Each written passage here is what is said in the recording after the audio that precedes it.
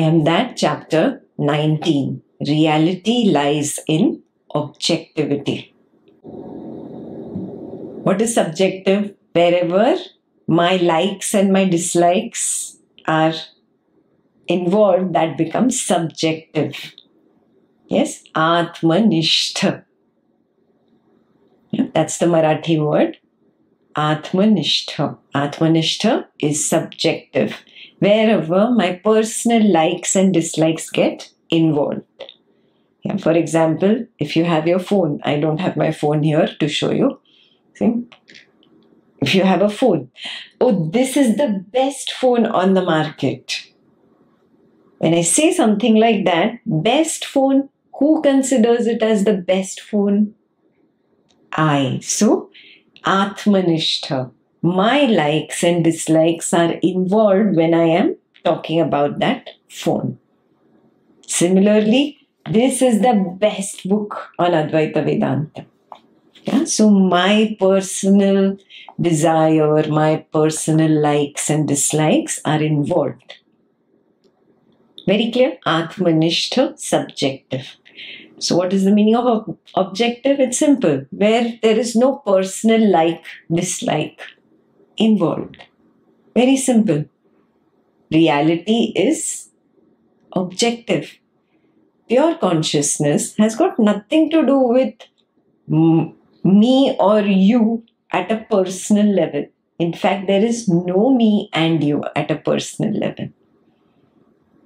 Yes. So if you take it one notch higher, it means there is no possibility of subjective to come into the picture where consciousness is concerned because there's no individual I or an individual you. Super clear? So, reality lies in objectivity.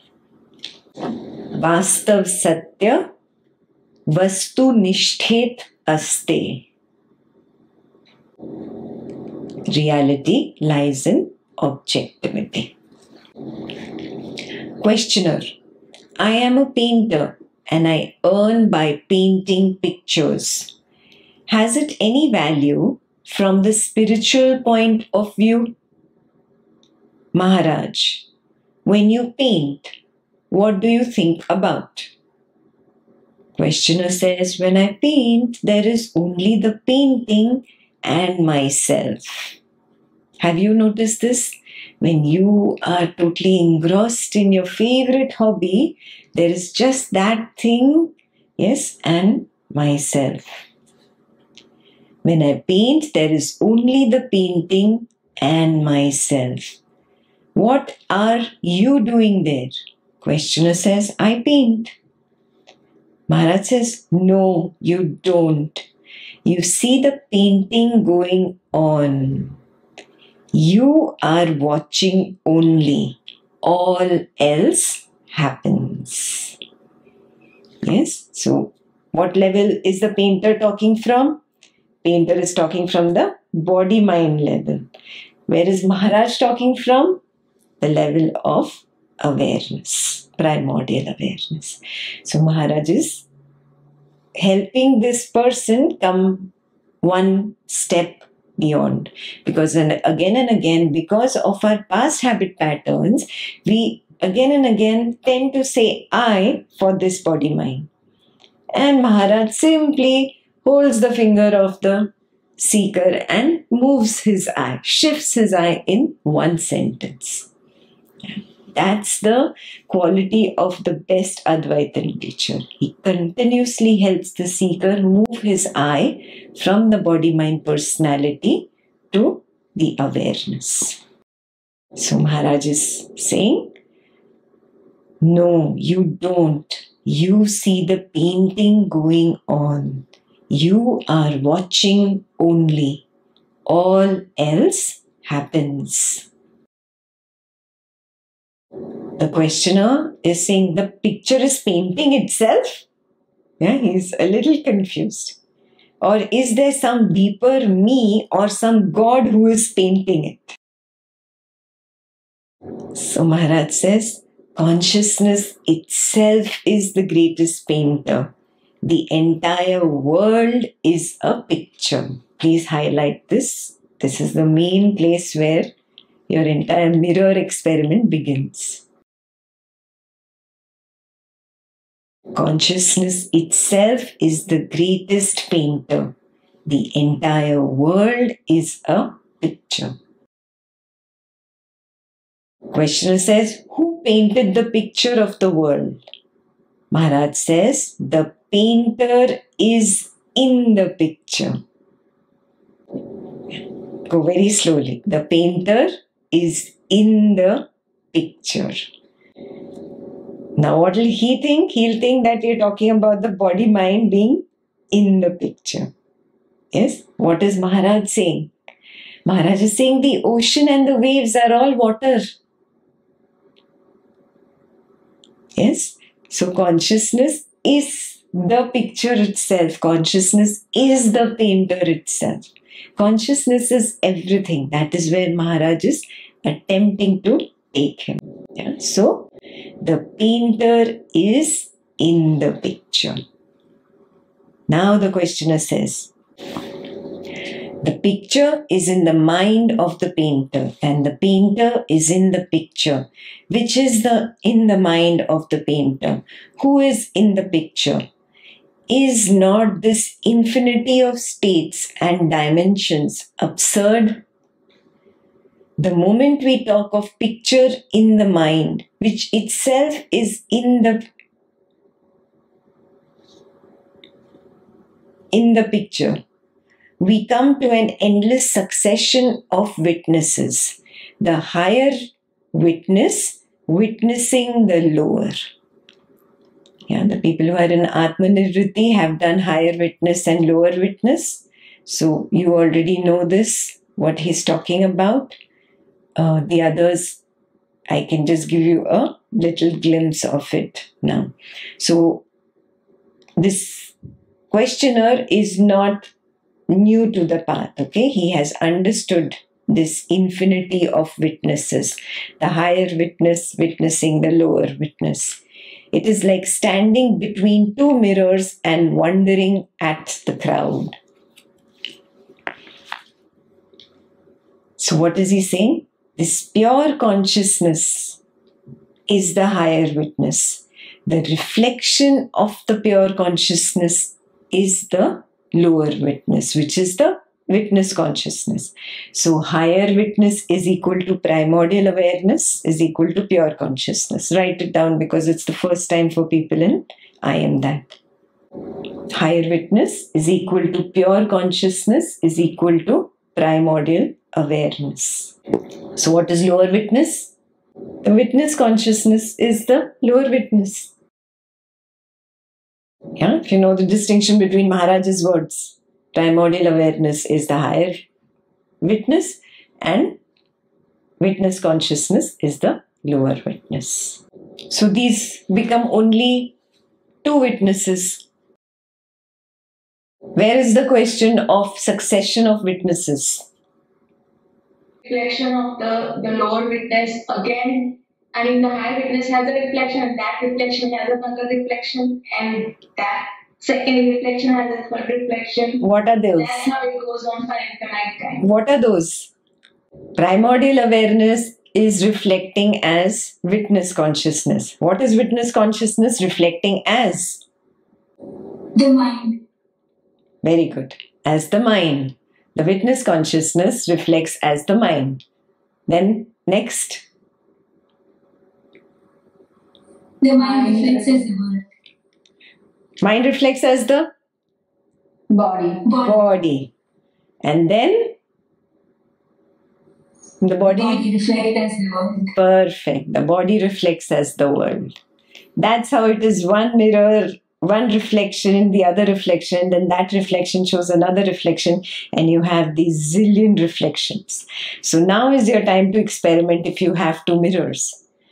Stand in or sit, whatever stand, sit in front of the mirror and see that that big mirror is reflected in another mirror.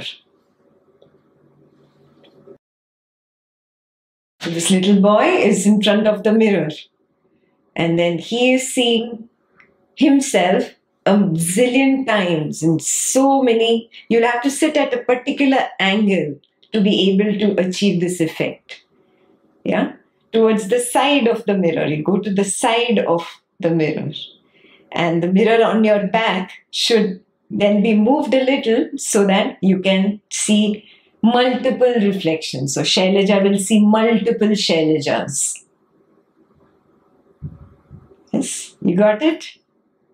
This is the infinity of reflections that Maharaj is talking about. The highest witness is what? The highest witness is the pure consciousness, or in Maharaj's word, uh, words, primordial awareness that reflects, that's the first, that's the main. That itself is standing in front of its own self, which is the mirror. Yeah. And it is reflecting in the mirror as the witness consciousness. That sense of I happens in what? It happens in that void only. Yes, and you know this from your own experience from the deep sleep state there was only void, and in that void arose the sense of I am. So the void is the higher witness, the primordial awareness. That nothingness, that stillness became aware of itself the idea of becoming aware is like the mirror and seeing its own reflection in it as I, the sense of I, the sense of being, the sense of existing. Hone ka ehsas. Clear? And there is no real mirror there. You have to just understand Maharaj was, or the questioner was using that example. He's a painter, no? He has a creative mind so he's using an analogy to explain how he sees it the same thing has been explained in the higher chapters of Atmanivritti with these proper words higher witness and lower witness. And possibly this person has read Atmanivritti a little bit. Yeah, we don't know. So, pure consciousness or primordial awareness is the higher witness. It witnesses itself saying, I that sense of I. It witnesses. That's how I know when the sense of I arises at the end of the deep sleep state and beginning of the dream. There's first the sense of I. That's the first reflection. That I itself projects as I am this or I am that. That is the next reflection. So now that lower witness, which is the sense of I, is now witnessing the this or the that, which is a thought. Yeah, you're still in the dream state.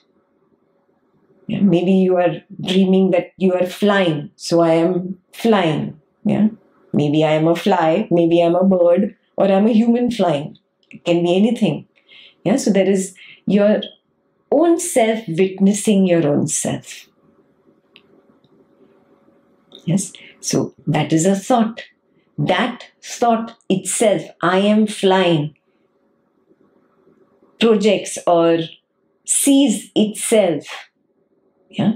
The sense of sight comes. It feels the air in which it is flying. Sense of touch comes. Yes. If there is a wonderful fragrance there, sense of smell arises. So now that only is reflecting as a thought. These are multiple thoughts, and those thoughts are nothing but the senses sense of sight, smell, taste, touch, whatever is a part of your dream. Yes, all that is nothing but perception. Perception is nothing but the world. So the world is nothing but a thought. Your sense of sight, smell, taste, touch, sound is nothing but a thought. Yes, all this is reflected in you, the mirror, which is the pure consciousness. And you look at all these things and you think this is the world. Yeah, It's like looking back in that mirror, seeing all the zillion Shailajas and thinking they are all different. She calls one name and form Ekta, she calls one name and form husband, one name and form daughter, one name and form friend. But it is all Shailaja, right? It is all you only. There is no two there. Advaitam.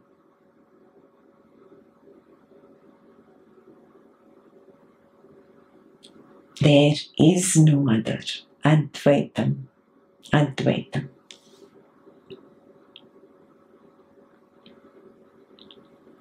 Super clear? Yeah, now this person is not a beginner, okay? He's there, he's well read, he has a lot of knowledge, but maybe experientially he's not able to establish there properly. So Maharaj is just going to help him again and again establish, again and again establish. Very clear? Higher witness, lower witness, very clear? And read that again. The picture is in the mind of the painter, and the painter is in the picture, which is in the mind of the painter, who is in the picture. Is not this infinity of states and dimensions absurd? The moment we talk of picture in the mind, which itself is in the picture, we come to an endless succession of witnesses. The higher witness witnessing the lower. It is like standing between two mirrors and wondering at the crowd. Very, very clear what he's saying. Full paragraph is clear. Maharaj says, quite right. You alone and the double mirror are there. Between the two, your forms and names are numberless. Highlight that.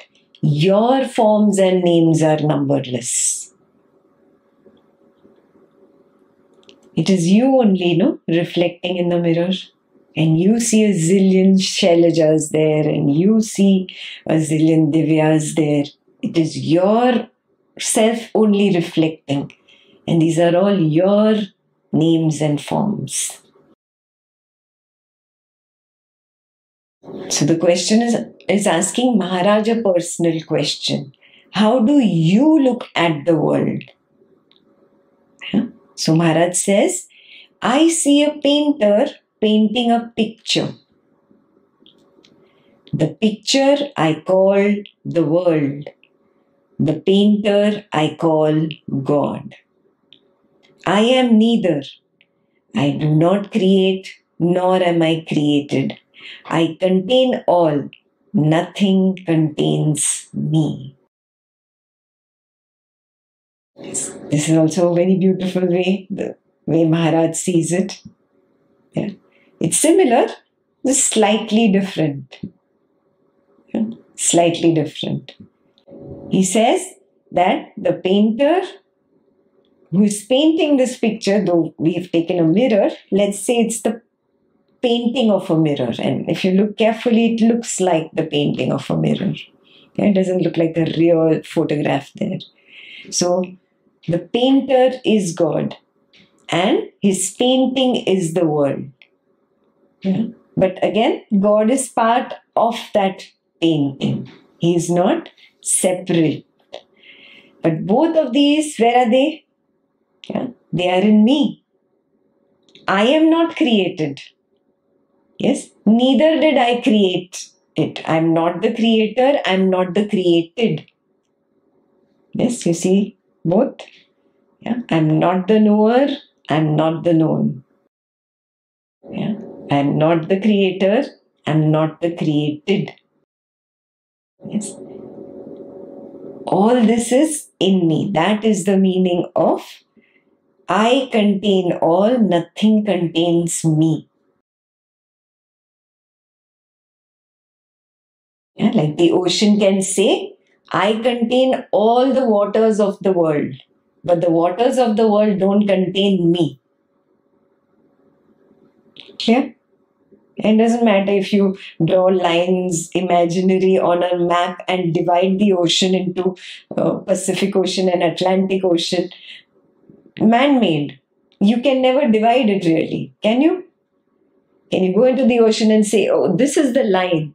This is where Pacific begins and Atlantic ends. No, you cannot.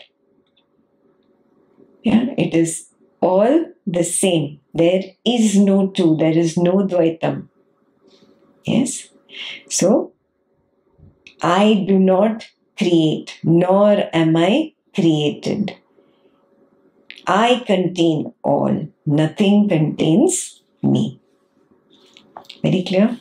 Maharaj's stand is that of the consciousness. That the painter, the so called God, is also a part of the painting, is in me. And God's creation, this world, is also part of me. Yes, he does not believe in a God which is an idol. You go to the temple or the any worship home and worship some God. No, he does not believe in that. Yes, he is very clear. There is only one God, and that is the pure consciousness.